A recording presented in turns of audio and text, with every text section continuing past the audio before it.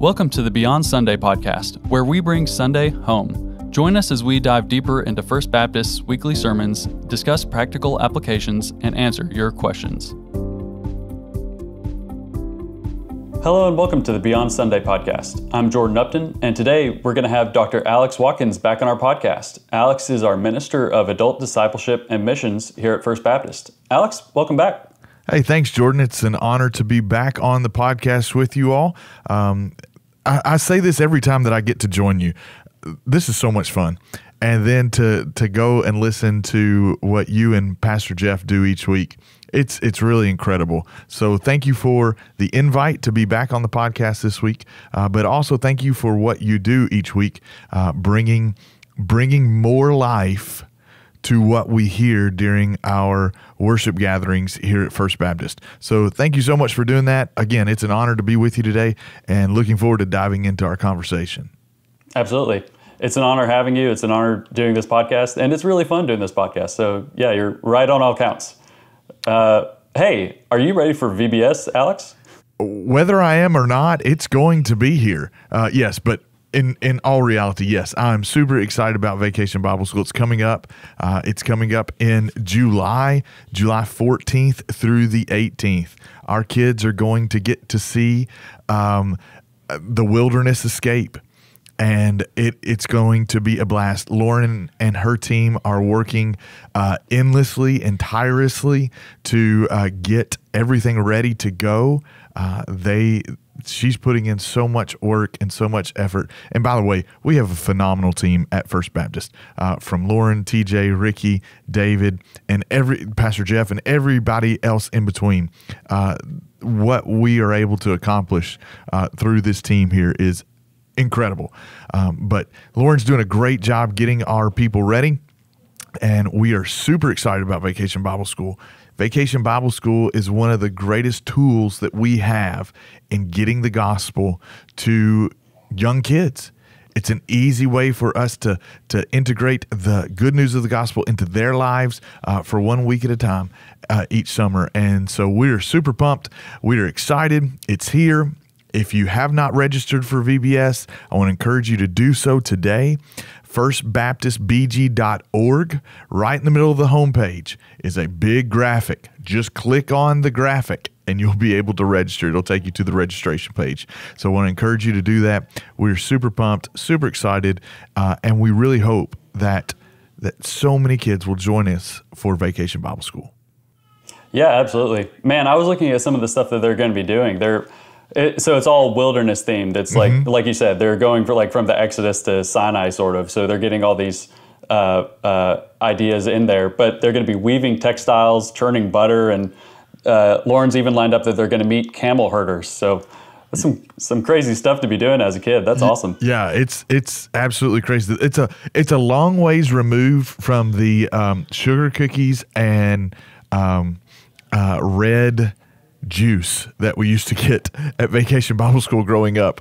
Uh, the stuff that was full of nothing but sugar, probably red dye 40 or whatever it is now, uh, that just sent you on a, a, a, crazy afternoon wild ride after you leave Vacation Bible School. But uh, Lauren, again, has so much planned for our kids. It, it goes from 6 to 8.30 each night, and I promise you there's not going to be a down second not just a down minute, but a down second for those kids as they move throughout uh, wilderness escape. And our stage, from what I have heard, is going to be transformed. So when those kids come into the sanctuary and they look up there on that stage, they're going to see something very incredible. Um, I don't know if she is giving all the details out yet, uh, but trust me, you're just just come to see the stage uh, from what I hear. Uh, so it's going to be really great. Yeah, and again, that's Sunday, July 14th through Thursday, July 18th. You can go to firstbaptistbg.org. There's a big banner. You'll see it right away. Just click on it and you can learn more about VBS and uh, register there. So, Alex, on Sunday you were at the pulpit and you preached from Acts 4 23 through 31. The text for that is When they were released, that is, John and Peter, they went to their friends and reported what the chief priests and the elders had said to them. And when they heard it, they lifted their voices together to God and said, Sovereign Lord, who made the heaven and the earth and the sea and everything in them, who through the mouth of our father David, your servant, said by the Holy Spirit, Why did the Gentiles rage, and the peoples plot in vain?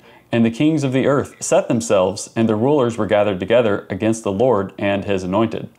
For truly in this city there were gathered together against your holy servant Jesus, whom you anointed, both Herod and Pontius Pilate, along with the Gentiles and the peoples of Israel, to do whatever your hand and your plan had predestined to take place. And now, Lord, look upon their threats and grant to your servants to continue to speak your word with all boldness, while you stretch out your hand to heal and signs and wonders are performed through the name of your holy servant Jesus. And when they had prayed, the place in which they were gathered together was shaken, and they were all filled with the Holy Spirit and continued to speak the word of God with boldness. Okay, so in that passage, the apostles quoted from Psalm 2. So that's when it's talking about why do the Gentiles rage, or translated differently, why do the nations rage? Yeah. So uh, you also quoted a couple verses from the psalm, and then a little later in the psalm, it goes on to say, I will tell of the decree. The Lord said to me, You are my son. Today I have begotten you. Ask of me, and I will make the nations your heritage, and the ends of the earth your possession. You shall break them with a rod of iron and dash them in pieces like a potter's vessel. Okay, so particularly there at the end of the psalm, it's it's talking about a rod of iron and dashing you know these people to pieces. It really sounds like a violent overthrow of the nations that are raging against God. Uh, but the apostles are not advocating for a violent overthrow. It, it seems like they're doing anything but be violent. Can you kind of explain what's what's going on in Psalm 2 and why the apostles are bringing that up here? Yeah, so Psalm 2 is commonly referred to as a royal psalm uh, because the subject of it concerns the anointing and coronation of a Davidic king. Uh, we can see that in 2 Kings 11 12.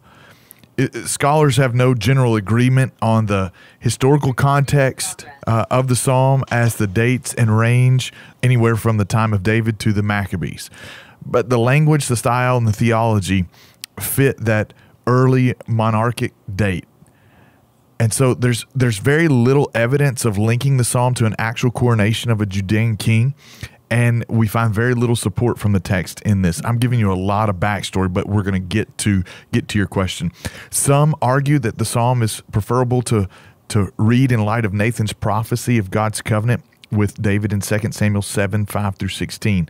But what we what we really need to see in the psalm are, are four sections. So, section one is the rebellious nations, verses one through three. Section two is God's rule in heaven, verses four through six. Section three is God's decree, what you were just talking about, verses seven through nine.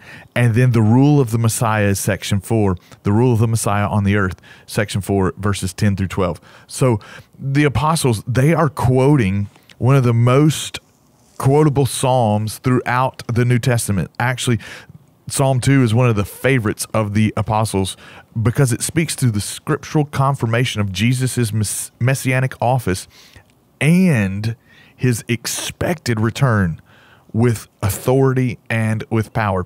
At the end of, of Matthew 28, we said it as we end um, uh, as we ended the service this past Sunday we say the Great Commission together, we, we repeat it over each other and we say it out loud. And Jesus came and said to them, All authority, all authority in heaven and on earth. So it gives this, this understanding, this scriptural confirmation of Jesus's messianic office and his expected return with the authority. Again, all authority in heaven and on earth has been given to him. And Psalm 2 provides so much hope within so the anointed king rules by God's appointment. That's Christ, who rules by the Father's appointment. The wise response of repentance is a victory for the Messiah and a token of the final victory over his enemies, the opponents of God's kingdom. What we need to see about Psalm 2 as the apostles were referring to it here, Jesus, the one in whom has been crucified and has been gloriously resurrected, is the fulfillment of Psalm 2. So He is born of David's lineage, Matthew 1, Luke 2. He has the right to David's throne, Luke 1. He is the Son of God, Matthew 3, Luke 9, Hebrews 1. And he will ultimately subdue all the enemies under his feet, 1 Corinthians 15, Hebrews chapter 2. Okay, now to answer the question, after all of the backstory, now to answer the question, what's going on? Why did they quote it here? Well, when we talk about the decree of the Lord, it determines his relationship to the king and to the nations. The Davidic king is by birth and by promise the Son of God. It signifies his legal standing. So the rule of God's Messiah ultimately brings stability even sometimes if he has to use force. And, and, the Lord's king has has the power to smash all opposition to his rule. And his sovereignty may be expressed as an iron rule in which rebels are crushed by by their fragile clay vessels. Jeremiah 19:11. And this authority is derived from God in that the Lord breaks the spirit of the rulers. Psalm 76:12. And again, the scepter here is a symbol of rule, discipline, and judgment. It's a symbol, the scepter uh, of a monarch. It symbolizes the authority granted by God to rule with great power over the nations. And what we see in Acts 4 is the uh, as the apostles are recounting what the Lord has done. If this was one of the favorites of the apostles to quote, one of the favorite psalms of the apostles to quote and to pray and to to to bring back to the attention of whom they're talking with. In this particular case, they're bringing it back to their own attention. As this is a prayer to the sovereign Lord, they're they're reminding themselves of what Christ or what God has done throughout the history and what he's going to do and the fulfillment of who Jesus is and and you know just as the chief priests conspired against the Lord and his anointed one Jesus they're recalling how the nations would conspire against the Lord and his anointed one throughout their history. The nations sought their own power. We know this. They sought their own power. They sought their own authority to live how they wanted and to do what they wanted to do. So it's no wonder that we see not only in this passage but also in other passages the fact that the Lord is incredibly forceful with his language and ultimately what he will do. And so often we must never forget that God will judge the nations. In our culture, judgment is one that is to be left at the door. But the Lord is very pointed in the fact that every person will stand before him one day and give an account for their life. They will be judged. And as believers, our great assurance is found in the fact that through Christ we are we stand before God without blemish, presented as spotless before God. Those who are without Christ stand with blemish, and they're not presented as spotless before God. And ultimately, God will judge them. The apostles, they're not advocating for violence. No, they're actually advocating for the Prince of Peace to rule and to reign through Jesus. They are simply recalling what the Lord has said and what the Lord will do. And they are uh, praying something that is really that's foreign to us. They're praying for boldness in the midst of opposition. They're praying for boldness to go into the opposition to proclaim the very thing that is causing the opposition to proclaim Christ, the Lord, and his anointed one. They're asking the Lord to give them boldness to proclaim Christ among all people. So that's a really long answer with a little bit of, with a lot of context behind it. Um, and so they're advocating for peace, or peace. They're advocating for the Prince of Peace to to rule and to reign not only over their lives but over the lives of all people everywhere. Yeah, that was a great answer. You had a lot of context in there that really uh, brings a lot out of, you know, just this couple of verses that, that they quote, but there's a lot there that they're, you know, bringing into this passage. Uh, and, and like you said, Psalm 2, you know, you can break it into several sections and really see a really big eschatological plan and, you know, again, just a couple of verses, but in several different different sections you know, you were talking about at the beginning is talking about the nations raging, Mm-hmm. uh, the people's plotting in vain. So it's like, you know, that's happening right now. That that Yeah. is, you know, happening. Um, he who sits in heaven laughs. The Lord will hold them in derision. Uh, you know, that's still, you know, kind of going on right now. But uh, then, uh, as for me, I have set my King on Zion, my holy hill. Well, you know, w- Messiah has come. Uh, he will come again. But Yeah. um, you know, we kind of see that step happening. Um, but then it goes on. You're, you know, the Lord has said to me, "You are my son. Today I've begotten you. Ask of me, and I will make the nations your heritage, and the ends of the earth your possession." So, like that, it's almost like that's coming. Like that hasn't happened yet. But these things are kind of going on in the apostles' heads, where, um, like you said, like this isn't a call for violence. Like even this psalm isn't a call for violence. Correct. It's it's telling us what's going to happen. Like there is a judgment that's happening. In light of that judgment, we need to act. We don't need to, you know, like you said, hunker down. Uh, Yes. We should be obedient and be doing what we're supposed to be doing. And here the apostles have all this in mind. You know, they've got, you know, he who heaven, he who sits in heaven laughs, the Lord holds them in derision. You know, they're they're aware that um, there's a lot of opposition to them. You know, particularly in Jerusalem at this time. They mentioned Herod and they mentioned Pontius Pilate. You know.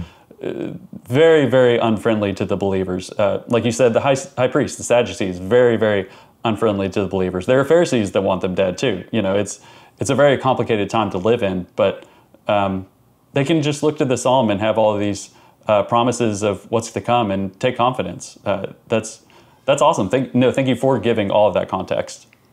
Okay, so moving to the end of the passage you quoted, Luke wrote that the place where the apostles were uh, was shaken and all were filled with the Holy Spirit. But weren't they already filled with the Holy Spirit? What, what's going on here? Yeah, that's a that's a great question to ask, and one that, uh, if we're not careful, we would confuse. And so, in the Old Testament, the the the shaking of a place was a sign of theophany, the manifestation of, of God in visible form. We can see that in Exodus 19. We can see that in Isaiah 6. One scholar writes it it would have been regarded as indicating a divine response to prayer. It was God's way of indicating that he was present there and that he was going to actually answer his prayer right then, right there. And so, filled with the Holy Spirit, this isn't a fresh baptism of the Holy Spirit. It's just a fresh filling. They already have the Holy Spirit who dwells deep within. We can see that from, from Acts 2. They already have it. This is just a, a fresh filling. And this is another instance in Acts where filling does not describe the characteristic of a person, but a special anointing. G. Campbell Morgan, one scholar, he believes that the, the new filling was intended to prevent the development of, of incipient fear. And certainly when we experience God in a fresh way, one of the first things that we receive is is courage. I mean, when, when the Lord fills us in a fresh way, as He's He's so desires to do, we we really do receive courage. And this is what happened in the lives of those people in Acts 4. They received courage to pray for something as great as boldness. And in their boldness, they were trusting in the sovereignty of God. Again, like you had mentioned, Jordan, they talked about, you know, God had anointed both Herod and Pontius Pilate along with the Gentiles, along with the nations, along with the along with the peoples of Israel to do whatever God desired to have happen. Well, what did God desire to have happen? Well, the Father turned his back to the Son and he crushed the Son to bring about salvation both to the Jew and to the Gentile. And so they were trusting in the sovereignty of God. And as he orchestrated what he did through Christ, and now as he's orchestrating them to be the mouthpiece, to be the vehicle in which the gospel would go to the furthest places on the planet. And so this this idea of the Holy Spirit filling them, it wasn't a, a, a fresh baptism into it. No, it was a fresh filling. And so we we all really do in some form or fashion want the Holy Spirit to move in a fresh and new way in our lives. And I, I have to wonder if I was there in Acts 2 and the Holy Spirit descended and I've got a, a, a, a, flame of fire resting on top of my head. And then obviously that, that flame of fire goes away because that's just a symbol. I have to wonder that that I would want another fresh move of God to come very quickly. And so this is this is that. They're praying in this regard. And so we all want that fresh move of the Holy Spirit in our lives and and may we by God's grace be willing to pray for a fresh move of the Holy Spirit in our lives. He's dwelling deep within. Uh, that's that's that's why he came. Jesus said it was better for him to go so that the helper could come and be with us always. And so why wouldn't we want to unleash the power of Almighty God through the Holy Spirit dwelling deep within and have a fresh filling of Him for the glory of His name. I like that. So it's not like a qualitative difference of the Holy Spirit. It, you know, the, the Holy Spirit has fallen upon them, you know, before, like they're they're moving in the Holy Spirit, but this is almost like a, a refilling of the cup. It's mm. almost like yeah. could, could, you almost compare it to like Moses, you know, going back up the mountain, coming back down and, you know, glowing again, you know, mm-hmm. glowing afresh, something like that? Yeah. Yeah, I think I think those are very comparable. Um, again, it's it's not it's it's not you know you're you're filled and then the Holy Spirit goes away. It's just a a a freshness into it, asking the Holy Spirit to do something else, to to show up, to be that to to be that constant presence as He always is, but to really say, all right, here it is. This is this is what has happened, and because of that that prayer they've been now given a task to go and do. Because of that prayer, they're they're they're willing to go and do something um, that they ultimately would end up. Many of them would lose their lives for, um, and so, you know, it's it's it's not a Holy Spirit come again. It's a Holy Spirit just give me a, a fresh thing to to do for the glory of your name. Yeah, no, that makes sense. Well, and you, you, mentioned martyrdom there. That's a, that's a very real possibility for. Um, it was a reality for the mm. apostles and the first century believers, and it, it's still a possibility and a reality today. Uh, yeah. Uh, and that takes us to our practical application question today. Uh, like I mentioned on Sunday, you talked about how we as Christians are not supposed to hunker down. We're we're supposed to be obedient to God and do what He would want us to do to follow out the Great Commission. Uh, so, first of all, let's define it though. What does hunkering down look like, and how do we avoid that? Yeah, hunkering down um, is is a term that that I like to use for um, when we decide that the gospel is just good enough for us. And what I mean by that is to hunger down as a Christian is to allow the gospel to essentially stop with you. Um, you're, you're saying that you believe the gospel is good enough for you, but you don't want to share it with anybody else. The greatest news ever told, you, you just kind of want to keep to yourself. Hunkering down means means you're you're you're not willing to go into hard places and and deal with deal with people. Let's let's let's be real honest. When we get to the mission of God, the mission of God isn't about buildings. It's not about um, making sure that our political alliances succeed. It's not about, um, it, you know, storing up things here for us. It's not about storing up our treasure here so that we can be comfortable. The mission of God is a, has and forever will be about people. It's about people. And so if we hunker down and say, ah, the gospel's just good enough for me, well, really, do we understand what it means to be a a follower of the Lord Jesus. Another way to put it is to think in this regard. Imagine you have the cure to cancer. Not just, we're, we're going to lump all the cancers together. We're going to put them all together. Not just one type, but every cancer. Imagine you have that cure. You've run the test, you've run the trials, you've done the research, you've done all the work, You've got the cure. You're ready. But you choose not to share it with anyone. Cancer has affected a lot of people all over the world, still does. Many who are listening today have been affected by cancer in some way. what good will it do if we have the cure? If you have the cure, but you're not willing to share it with anybody else. Sure, you, you won't have cancer because if you do, ultimately you have the cure. You can you can cure cancer within yourself. But once you die, the cure's gone. It stops with you. For us as believers, we have the cure. And the cure is the gospel. It's Jesus. We've been entrusted with it. We've been entrusted with the truth. And it's our mandate from Christ our King to now go and proclaim that good news. Why would we ever want it to stop with us? You know, I, I, I, truly believe in all of my with all of my heart. If the church of the Lord Jesus Christ did exactly what it, it was designed to do, there would be no more orphans. There would be no hungry, hungry people. There would be no starvation. And the hardest people on the planet to reach would be reached with the gospel of the Lord Jesus, and Christ would reign as he will one day in the lives of every people all over the planet for the glory of his name. I, I truly believe that. And we have to know and we have to understand. And I, I hope people hear my heart.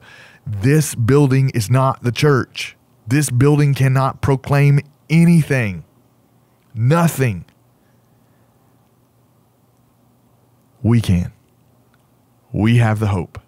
We, as the people of God, must leverage our lives for the glory of His name to take His name to all people everywhere. We've got the cure for lostness, and it's the gospel.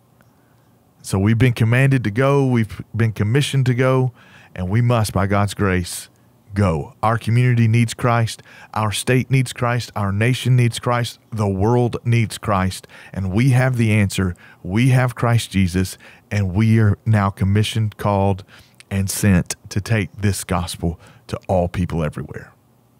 That's so good, Alex. I love the focus that you have on the Great Commission. Uh, you, you, you've said it as soon as you were hired. We're going to keep circling back to the Great Commission and keep our focus on that. And you've really kept us there, and that's good. You know, when you have that focus on uh, what you're supposed to be doing, it's easier to do it. Yeah. You know.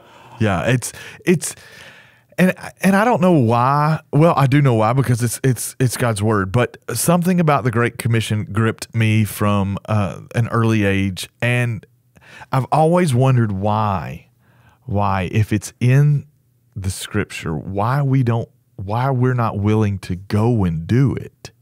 If it is the, if Jesus is who he says he is, if he really is who he says he is, then why wouldn't we take him at his word? Why wouldn't we take him uh, as the king who has now commissioned us to go and live out his glorious gospel? And it's a it's a it's a a living out and a proclaiming. Our lives are are representative of what we believe. And so why would I not want to go and proclaim the good news of Jesus? if that's what he said to do. And so my heart here for us at First Baptist and and my heart for every local church is we would take Christ at his word and go and live out what he's designed us and commissioned us to do. And that's to enjoy him by knowing him and that's to make him known by going to all people everywhere. And by God's grace, one day this commission will be fulfilled.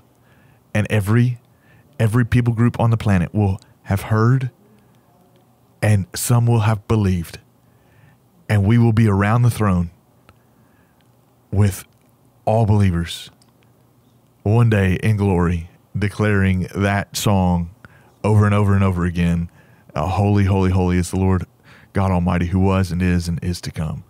And what a beautiful day that will be but until that day, we've got some work to do. So let's go and do it. Let's go and do it. Let's we talk a lot about making an impact in the lives of people around us. Well, let's go and make an impact and eternal impact in the lives of people around us. We talk about impacting our community. Uh, we're goodness gracious, we're coming into a political season. where it's going to get crazy. Let's make an impact during this season for the glory of Jesus' name. Let's not be defined as Republican or Democrat. Let's be defined as the children of God who go and make Jesus' name known. And so, yeah, keeping the Great Commission at the forefront of who we are is it's my task, and it's what we all should desire to do is, is to live out our faith, where where where faith and life intersect at the corner of 12th and Chestnut. That's what we want to do. We want to help people live out their faith and proclaim Christ as they're doing so each and every day. Amen. And like we talked about at the beginning, one really incredible way the First Baptist uh, carries out this mission is through VBS. Yes. If you're a parent like Alex or like me, you, you have kids and they can go to VBS. They have to be three years of age to go to VBS. Uh, but if you have a child that can go to VBS, we would highly encourage you go to firstbaptistbg.org, look for the banner for VBS, and click on that. We also have the link to it in the show notes, so you can also go there. Uh, and if you have if you have questions for us about VBS, or if you have questions about uh, the Christian walk in general, or something like that, you can also go to the show notes and find the link to email us there. Okay, Alex, can you pray us out for today? Yeah, I, I would be glad to.